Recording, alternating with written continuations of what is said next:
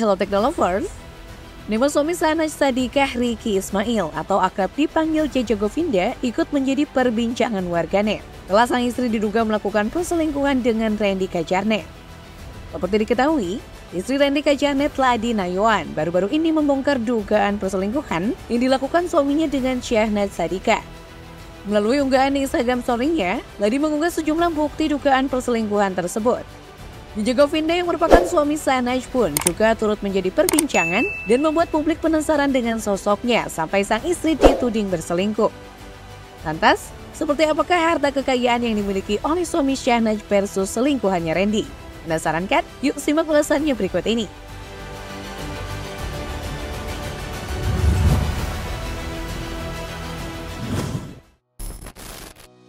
Profil JJ Govinda Pemilik nama lengkap Ricky Ismail ini merupakan seorang musisi yang lahir di Jakarta pada 22 April 1983. Berarti, saat ini usia JJ sudah menginjak kepala 4 atau lebih tepatnya adalah 40 tahun. Diketahui, JJ juga merupakan seorang drummer dari band Govinda yang membuat namanya banyak dikenal publik. Tommy Sanaj tersebut memulai karirnya lewat sebuah kompetisi musik dengan mewakili Bandung di ajang The Dream Band. Setelah mengikuti kompetisi tersebut dan sebelum bersama Govinda, JJ sempat bergabung dengan beberapa band seperti Sinar Pusaka, Ize, Olive, dan Domino. Hingga akhirnya pada tahun 2004 silam, JJ menjadi drummer di band Govinda bersama empat personil lainnya, yakni Ade, Ivan, dan Lucky. Setelah itu, namanya semakin dikenal oleh publik khususnya penikmat musik tanah air. hanya bermain musik, Ricky Ismail mulai merambah dunia seni peran dengan bermain dalam FTV berjudul Kamu Terlalu Wah Untuk Aku Yang Hang. Dunia seni peran merupakan hal baru bagi pemain drum genre pop, rock, dan rock alternatif ini. Terkait dengan agama, Yeje Govinda merupakan pemeluk agama Islam sama seperti Sana Syadika. Dilansir dari berbagai sumber, Jeje Govinda menjalin hubungan asmara dengan adik bungsu Raffi Ahmad Sana Sadika dan memantapkan untuk menikah pada 12 April 2018. Dari pernikahannya dengan Syahnaj atau yang akrab disapa Nanas, mereka pun dikaruniai sepasang anak kembar laki-laki dan perempuan yang diberi nama Zayan Sadafir S. Hilan Ismail dan Sunaira Alesia Safaras Ismail. Saat ini rumah tangga mereka dalam keadaan tidak baik-baik saja dan sedang diterpa isu perselingkuhan. Berkembang narasi di beberapa pemberitaan dan medsos jika Ricky Ismail atau Cece Govinda berniat menceraikan Syahnaz Sadika jika benar-benar terbukti berselingkuh dengan Randy. Berbagai perbincangan hangat media sosial terus mengangkat topik dugaan perselingkuhan Reni dan Syahnaz. Ingat keduanya merupakan sosok publik figur yang sangat terkenal. Reni disebut-sebut sebagai raja dari FTV Indonesia, sedangkan Syahnaz sendiri merupakan adik dari Sultan Andara Raffi Ahmad. Jagovinda dan Syahnaz dinilai sangat jauh dari berita miring atau negatif sebelum Lady Naiwan mengungkap dugaan hubungan terlarang antara Randi dan istri Ricky Ismail. Tak berbeda dari kekayaan yang dijuluki Sultan Andara, Jaja dan Shana juga terlihat terbiasa dengan hidup mewah.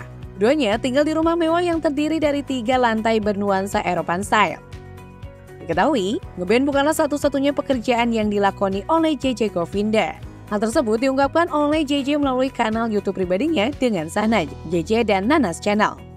Melalui salah satu konten Q&A pria 40 tahun itu mengatakan pekerjaannya selain menjadi drummer, Ayah dua anak itu mengatakan bahwa ia bekerja sebagai artis and reporter atau ENR di My Music Record. Adan Air merupakan divisi yang bertugas mencari talent serta mengawasi perkembangan artistik artis rekaman dan penulis lagu. My Music Record sendiri merupakan perusahaan rekaman asal Indonesia yang didirikan pada 25 September 2009 di Jakarta. Label tersebut juga telah menaungi beberapa artis terkenal seperti Govinda, Cakrakan, Anji Manji, Raffi Ahmad Marsal, Mika Tambayong, dan masih banyak lagi.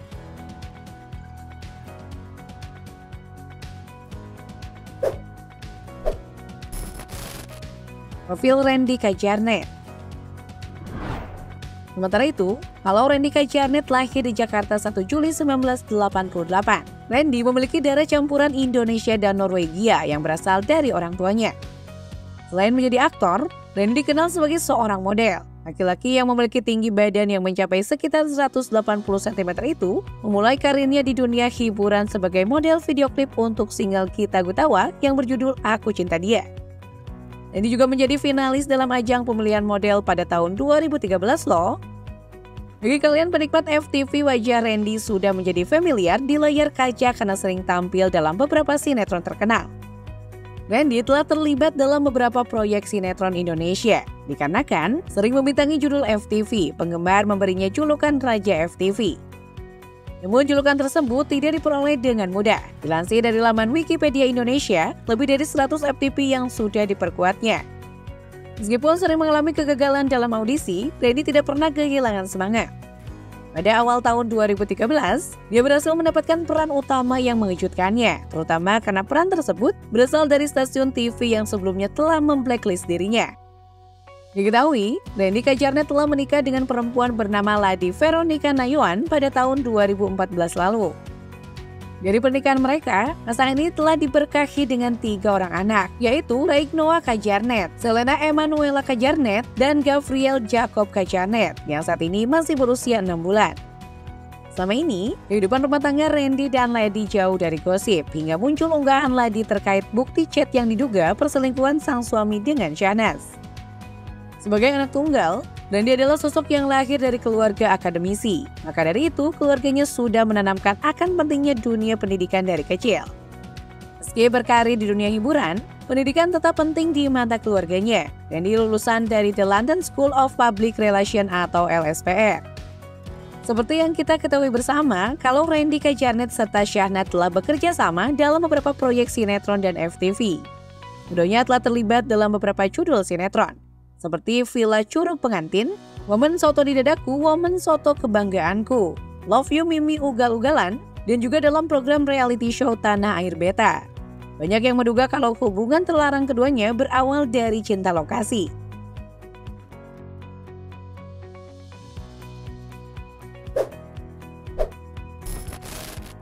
Harta kekayaan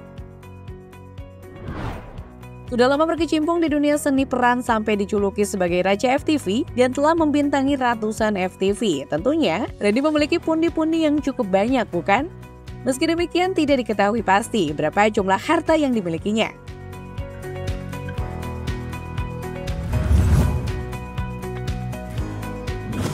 Nah itulah tadi ulasan seputar kekayaan suami Sahnas versus selingkuhannya Randy. Menurut Teknolovers, gimana nih? By the way, soal isu yang sementara beredar semoga hoax ya. Coba tulis pendapat kalian di kolom komentar ya. Yuk dukung terus channel ini dengan memencet tombol like, komen, dan subscribe. See you!